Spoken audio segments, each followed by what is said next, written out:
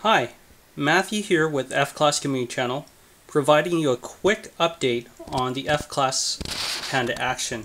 This is a video response to Don Morrison, uh, one of our community members uh, with F-Class Community Channel, one of our subscribers. So thank you, Don, for your comments. Uh, I, would like to just quickly go over the details for you. Uh, it's sporting an ergo grip with a dual trigger uh, HVR set to a little bit less than one pound.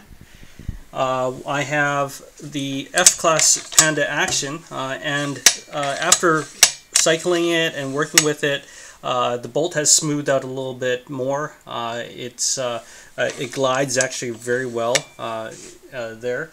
what it's sporting is a 1 in 11 twist Bartlein barrel. the length of the barrel is 32 inches. And on top of the rifle uh, is a Sightron 3S3 uh, in a fine crosshair, uh, 10 to 50 by 60 uh, with the uh, uh, target turrets. so far, the aluminum chassis, I'm getting used to it, and still there's a, a, few things that, you know, the, the pet peeves that, that I mentioned before. However, I, am working through those. I'm working through uh, in terms of getting the right uh, LO uh, length of pull uh, for my prone position. Uh, so far, um, it has been a fun rifle to build. I'm looking forward to starting load development. right now, it's life is just a little bit too busy for me to go out to the range. However, I've started reloading for it already.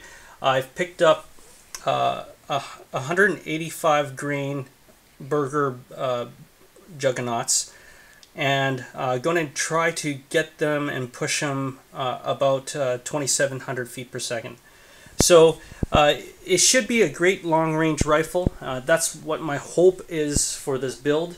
And short, in terms of the short range as well, I'm going to see if I want to play with the 155 grain bullets uh, in order to to match the uh, 308 uh, Palma chamber uh, that is uh, that that is what this rifle is cham chambered in. So it's chambered in an, an, a 95 Palma.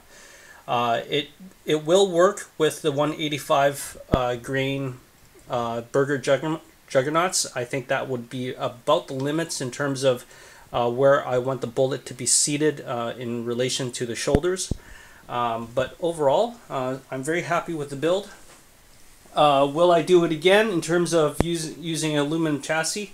I would probably uh, give it more time. I, I would shoot it a little bit more. However, uh, like I said before in my previous videos, I am a little bit more of a traditionalist. I do like the feel of wood stocks or a laminated stock or even a synthetic uh, fiberglass uh, Kevlar reinforced stock.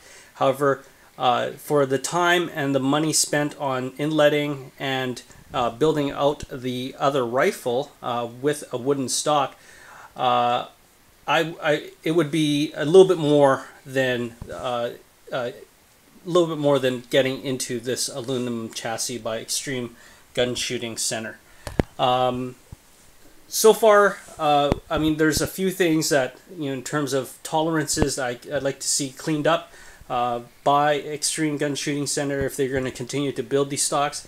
Um, especially the gap, I guess, uh, between the adjustable uh, uh, grip uh, position uh, it needs to be a little bit more forward uh, or adjustments need to be made to the adapter that the grip is attached to.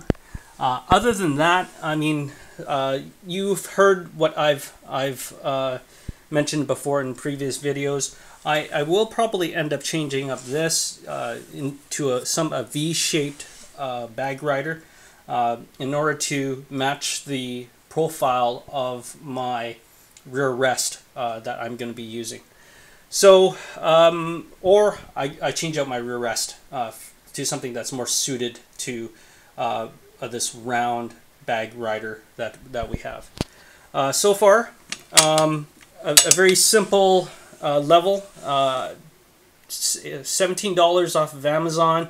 It works pretty well. I'm quite happy with it. It's a B squared level, and yeah, that's it. I just wanted to provide you guys with an up- update. Thank you, Don Morrison, for the, for the question. I know I haven't updated the channel uh, for a little while. However, uh, there's more to come. I will.